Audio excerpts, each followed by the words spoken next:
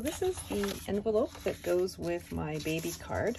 You have two decorative pieces and this is the flap for the top of the envelope with two score lines. I've just folded down on both score lines. And then the main piece, of course. Now, with the main piece, just a little tiny explanation, you're going to see a little circle that cuts out with the same piece. Just ignore that circle. It's only there for positioning of the piece. My craft mat is the same size. It's 12 by 12, just like a Cricut mat and the maximum size for my piece is 11 and a half by 11 and a half on a Cricut mat. So it, this piece would not fit on a Cricut mat unless I rotate it. So I rotated it so that it fit within 11 and a half by 11 and a half. When I send it to cut, it automatically goes to a 12 by 24 mat, which I didn't want. I wanted it to stay on a 12 by 12 mat. So by putting a little circle and attaching the circle to my piece, it actually keeps my piece in position. So it sends a message to my Cricut that yes, this will fit on a 12 by 12 mat. It's just a little trick so that you don't have to either reduce the size of your cut piece or use a larger mat. There are two sets of score line because we wanted a dimensional envelope. The card has a tiny bit of dimension to it and I wanted to be sure that it fit nicely in this envelope. So I've just folded and burnished all my score lines.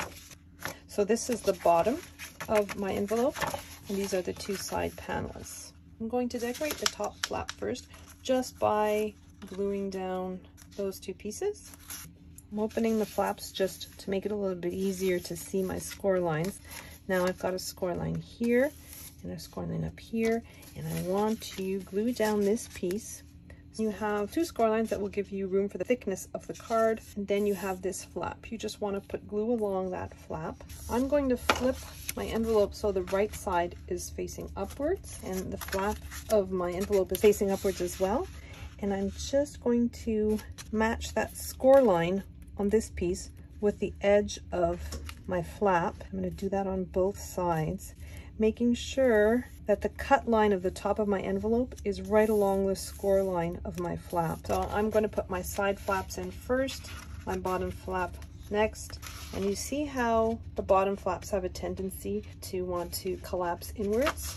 So what I do is I grab a paper pack that's about the same thickness of my card, inserting it along the score line on the side, and then I'm bringing my bottom up just to make sure that this is a nice 90 degree angle. I'm putting glue all along this edge and from the corner along the diagonal line like that of my side piece. So I want to make a nice right angle seam right there. And then I'm going to do that for the other side as well.